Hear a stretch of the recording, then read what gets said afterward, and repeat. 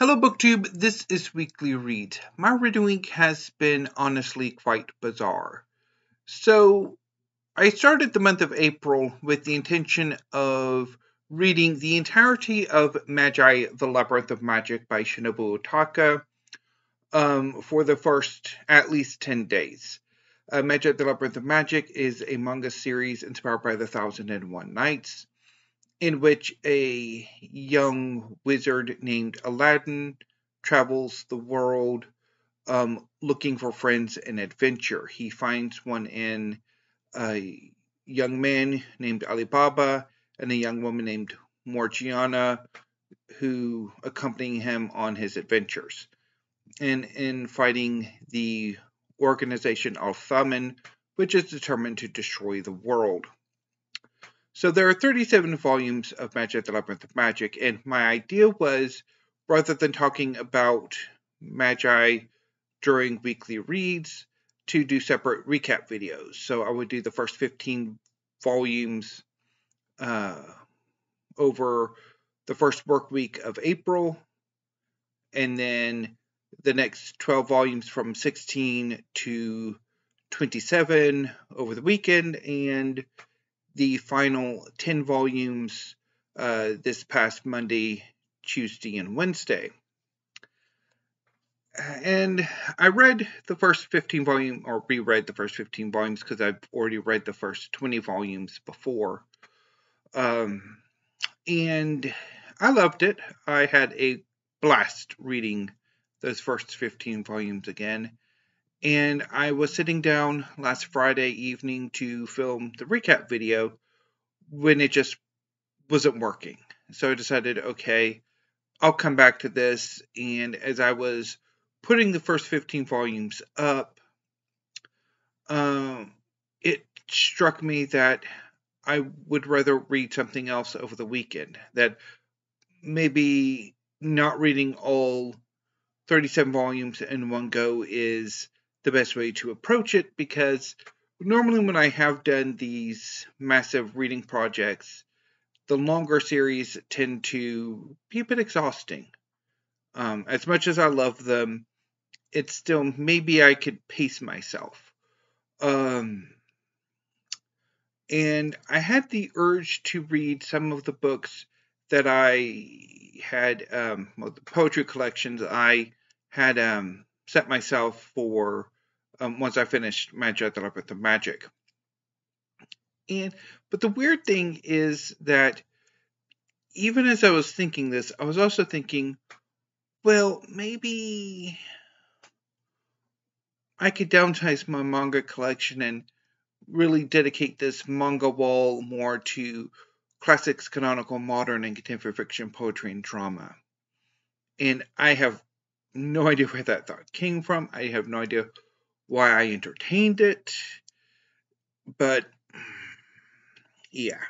So let me put down Magi real quick to talk about what I read over the course of the weekend or failed to read, as the case may be.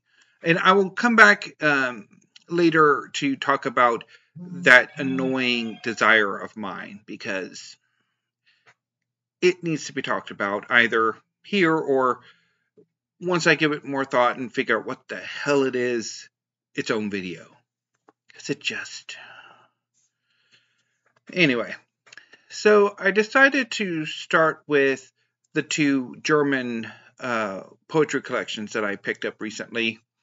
Etudes by Friederike Mayröcker, translated by Donna Stonecipher, and Porcelain by Durs Grünbein, uh, translated by Karen Leeder. Now, I think part of the impetus to read this book first was that, or is that, it is National Poetry Month. Uh, the university in the University of Chicago Press has a sale on this month for uh, more recent uh, poetry collections. Um, one of which is, well, two of which are more recently published work from Seagull, uh, both Mayröcker and Grünbein's work. So I started on um, etudes and didn't get on with it. Um, it's a collection of short poetic prose that some of the poems worked for me, most of them did not. Um, I ended up having to use this as well. The only way I could actually stay awake while I was reading the first half of the book was by walking around. Um, and I was going to power through. However, my I got a text from my sister-in-law asking to see if my mom wanted to go visit her the grandkids, and while we were at it, or while she was at, and I'd have to come along to watch the kids while they, my brother and sister-in-law, worked on her mother's tiny house. So we did that, and I kind of just bailed on Etude. So there goes that. And then when I got back, I started on Porcelain by Durs Grunbein, which again is it's a bit weird. I'm not entirely sure if the is like this short, and then there's if the glossary and the notes are meant to be sort of extra or included in the poem as well, or in the collection as well. But I just, I don't know, I just, I wasn't feeling it. And I guess maybe I was still a bit upset from earlier in the day. So I did put this one down as well. Now, Saturday, uh, Sunday was at least initially better. Um, I decided to read uh, two of the three um, Australian collections of poetry that I have picked up recently for um, Aussie April. I was about to say Australia Timber, but that's in September. So I started with um, Redneck, Subhuman Redneck by Les Murray. Um, I quite like this collection. There are a number of uh, poems that I thought were really good, and I really loved uh, Murray's voice in this. So I'm definitely happy I read this collection and picked it up. And also enjoyed uh, The Jaguar by Sarah Holland-Batt. Um, there's particularly, I like the poems where she's grappling with her father's decline and eventual death, uh, but there are other fantastic poems as well. Although I'm not entirely sure if the jaguar on the cover is necessarily the more appropriate jaguar to have had on the cover. but then again, the animal jaguars are a lot cooler than the cars. Because there's a poem in here called the Jaguar, and it's actually about the car than not the animal. But anyway.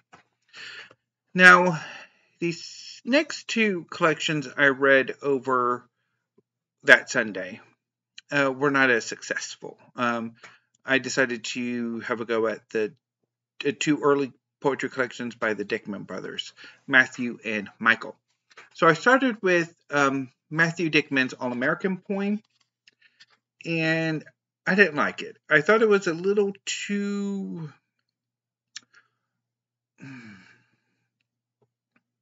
I don't think it was quite polished enough. Um, ultimately, it read a like basically read like a student's work. Um, I mean, it was confessional. It really just I don't know how to explain it, but I have a similar feeling to this collection that I did with um, the Anchorage by Mark Wunderlich, where it just I guess maybe the poet um, in Matthew Dickman in this case is trying to find his poetic voice and not quite there yet. So, but I will come back to this collection eventually. And I will also come back to The End of the West by Michael Dickman. Um, which, yeah, I just, hmm, anyway. So, over the course of the work week, I went back to Magi the Labyrinth of Magic and read the next uh, from volume 16 to today I'll be getting through volume 30. Um, I have to say I've been loving it, particularly yesterday's reading volumes 25, 26, and 27, particularly the end of 26 and um, 27. Oh my, oh my. There are some fantastic um, characterizations of uh, two of the characters, and uh, two or three of the best fights in this series are in those volumes, and it is just it's amazing.